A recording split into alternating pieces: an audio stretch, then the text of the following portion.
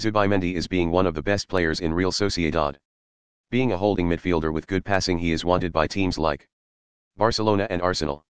Following our analysis of Arsenal's future midfielder he will be a very good option since he has a clause of 60 million euros which is less than its value. Zubimendi is the more defensively minded player of the three he is very great at stopping the opponent's attack and starting the counter. With his passing ability. He has a good 56.5% of tackles successful he has 33 clearances and 22 blocks. Attacking he is not bad with 97 progressive passes and 1.3 shot creating actions per 90. He does also have 40% success rate in take-ons. His key performances this season are, a 8.9 rating against Barcelona in the Spanish Cup, a goal and assist against Girona and a goal against Elche.